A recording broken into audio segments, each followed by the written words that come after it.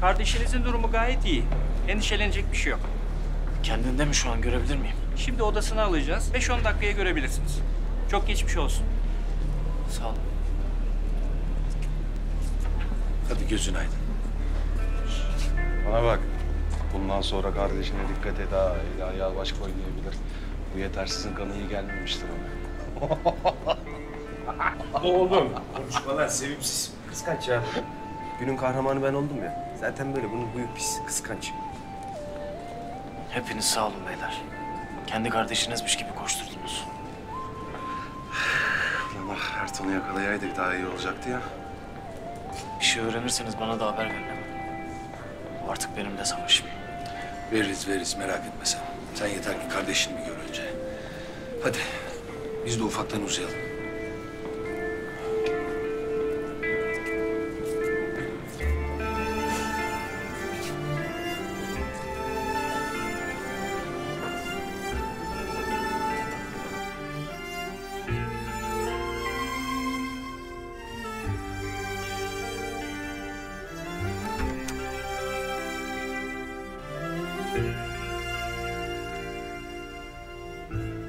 Beş dakikaya geçmesine.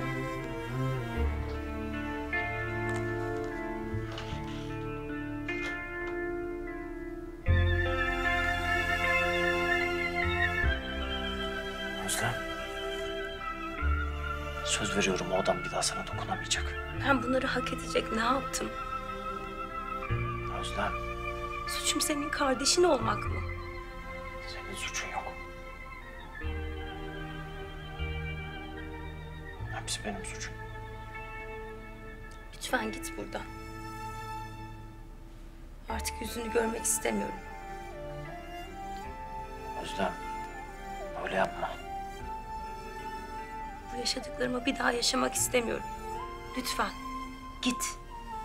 Lütfen.